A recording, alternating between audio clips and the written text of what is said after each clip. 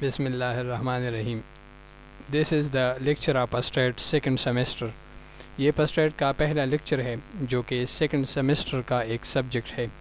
इसके लिए आप ये दो बुक्स देख सकते हो ये पस्टेट रिटन बाय अतीक़ुररहमान। आज का टॉपिक जो है ये है शौक। शौक मीन बेहोशी। एक इंसान कुछ वजूहत की वजह से आ, वो बेहोश हो सकता है। जैसा कि अगर सडन ड्रॉप इन ब्लड एक इंसान के बॉडी से अगर ब्लीडिंग बहुत ज़्यादा हो जाए या हेड इंजरी के बाद अगर सिवियर ब्लीडिंग हो जाए तो उसकी बीपी बहुत ज़्यादा लो हो सकती है, जिसकी वजह से वो बेहोश हो सकता है। इसके अलावा अगर एक इंसान का ब्लड ग्लूकोज लेवल बहुत ज़्यादा गिर जाए, जिसको हाइपोग्लेसी में कहा जाता है तो वो भी बेहोश हो सकता है। इसके अलावा इंसान के वाइटल आर्गन जैसा कि ब्रेन हार्ट किडनी लंग्स अगर काम करना छोड़ दे तो इसकी वजह से भी इंसान शौक में चला जा सकता है या वो बेहोश हो सकता है। काजिस ऑफ़ शौक।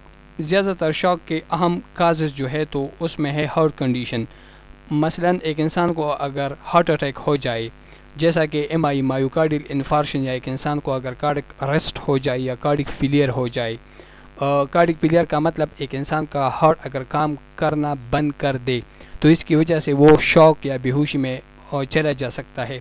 इसके अलावा heavy internal and external bleeding एक इंसान की बॉडी से अगर बैरूनी खून का बहना शुरू हो जाए और बहुत ज़्यादा खून बह जाए या इंटरनल ब्लीडिंग अगर एक इंसान की बॉडी के इंटरनल वोन की वजह से अगर इंटरनल ब्लीडिंग हो जाए तो उसकी वजह से भी वो शॉक में चला जा सकता है। It is because of rupture of the blood vessel infection की वजह से भी आ, हो सकता है। जिस तरह अगर एक इंसान की बॉडी पर कोई जख्म हो और उसमें बैक्टीरियल इन्फेक्शन या सेप्सिस हो जाए तो उसकी वजह से भी वो बेहोश हो सकता है, जिसको सेप्टिक शॉक कहा जाता है।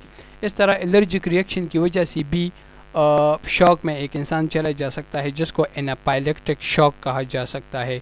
जितनी भी हाइपर सेंसिटिव या एलर्जिक पीपल है तो वो एलर्जी की वजह से एलर्जिक शॉक में चले जा सकते हैं या सेप्टिक शॉक उसको हो सकता है। इसके अलावा सिम्टम अगर आप देखें, इसके अलामत क्या होंगे? फ़र्स्ट ऑफ़ ऑल इंसान जो है, वो वो एनजाइटी या परेशानी में चला जाता है और रेस्टलेसनेस वो बे आराम बे आराम हो जाता है। इसके अलावा उसके लिप्स का कलर जो है, वो ब्लूइश हो जाता है और उसके हाथ जो है, वो टंडे पड़ जाते हैं। चेस्ट पेन उसको सीने में जो है दर्द महसूस होता है और वो कन्फ्यूज़न का शिकार हो जाता है। Confusion mean unable to decide मतलब वो फैसला नहीं कर सकता कि वो क्या करे।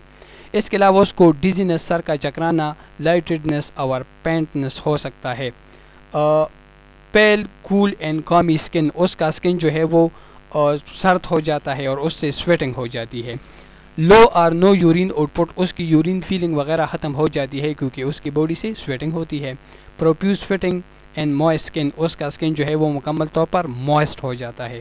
These are the common symptom of shock types shock के कितने टाइप्स हो सकते हैं? कार्डियोजेनिक शॉक वो है। एक इंसान अगर बेहोश हो जाए बिकॉज़ ऑफ़ हार्ट प्रॉब्लम तो इसको कार्डियोजेनिक शॉक कहा जा सकता है। फॉर एग्जांपल एक इंसान अगर हार्ट पेशेंट है, और सडन उसकी बीपी अगर लो हो जाती है या बहुत ज़्यादा हाई हो जाती है और वो बेहोश हो जाता है तो इसको कार्डियोजेनिक शॉक कहा जाता है। हाइपोवॉल्यूमिक हाइपोमीन कम एंड वॉल्यूमिक मीन वॉल्यूम अगर एक इंसान की बॉडी की आ, के ब्लड का वॉल्यूम अगर बहुत ज़्यादा कम हो जाए बिकॉज़ ऑफ़ एक्सटर्नल और इंटरनल ब्लीडिंग तो इसको हाइपोवॉल्यूमिक शॉक कहा जाता है। एनापाइलेक्ट्रिक शॉक ये उन लोगों को होता है जो कि एलर्जिक होते हैं। तो एलर्जी की वजह से शॉक को एनापाइलेक्ट्रिक शॉक इस वजह से कहा जाता है क्योंकि बॉडी के आ, जो एंटीबॉडीज़ है वो बैरूनी एंटीजन के साथ रिएक्शन करते हैं। The reaction of antigen and antibody is call anaphylactic reaction तो इस वजह से ये एनापाइलेक्ट्रिक शॉक है। सेप्टिक शॉक इस वजह से कहा जाता है कि एक इंसान का जहम अगर ख़राब हो जाए तो जहम के खराबी को सेप्सिस कहा जाता है और इसकी वजह से शॉक को सेप्टिक शॉक कहा जाता है। इन्फेक्शन और सेप्सिस ये तकरीबन एक ही चीज़ है। न्यूरोजेनिक शॉक उसको कहा जाता है कि एक इंसान का नर्व सिस्टम अगर डैमेज हो जाए the damage of brain or spinal cord जब इंसान को हेड इंजरी होती है तो इसकी वजह से शॉक को न्यूरोजेनिक शॉक कहा जाता है। इसका पस्टेट क्या होगा? या इब्तदाई तिबी इमदाद पस्टेट का मतलब इब्तदाई तिबी इमदाद मतलब कि डॉक्टर के पहुँचने या हॉस्पिटल तक पहुँचने से पहले हम पेशेंट की जो हेल्प कर सकते हैं, उसको कहा जाता है पस्टेट ऑफ़ शॉक उसमें आपने इस तरह करना है कि आप ले द पर्सन डाउन कि आप पेशेंट को स्पाइनल पोजीशन पर ले आए जैसा कि आप इस इमेज में देख सकते हो। फिर आप उसकी पीठ को जो है 12 इंचेस तक ऊपर करें, जैसा कि इस इमेज में आप देख सकते हो। जबकि उसका, उसकी हेड नेक और बैक ये जो है, ये ज़मीन पर पड़े होंगे। इससे क्या होगा? इससे वो जो है, उसको थोड़ी सी आराम मिलेगी। या डॉक्टर और हॉस्पिटल तक पहुँचने से पहले उसको रिलीफ मिल जाएगा।